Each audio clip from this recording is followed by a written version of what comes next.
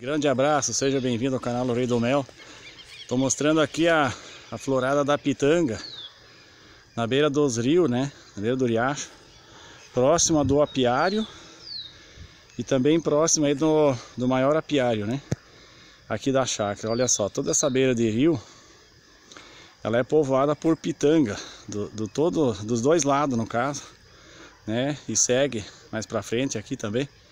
Então é isso aí, eu queria mostrar aqui só que nem amanhã cedo já vai ferver de abelha, né? Já tem umas abertas. Outras estão ainda por abrir, né? É uma florada muito grande esse ano, porque pode ver só uma coisa aqui. Até os galhos mais baixos aqui, ó, perto do chão aí, já estão com as bolinhas, né? Pronta para abrir as pétalas. Olha só que maravilha de Deus, né? Então é isso aí. Só queria mostrar aí para você que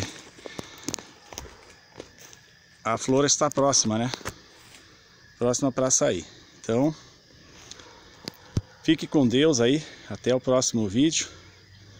Hoje foi um serviço, né, muito longo à tarde.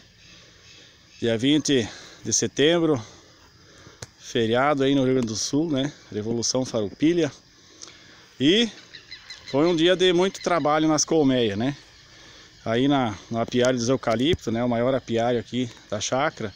Foram várias várias colmeias, né? Trabalhado, colocado uh, favos, mudança de caixilho, né? Colocado cera alveolada. É uma limpeza e, e revisão. Ok, pessoal? Forte abraço do Rei do Mel. Se inscreva no canal, deixe seu like. Não esqueça de ativar o sininho. E Deus abençoe a todos.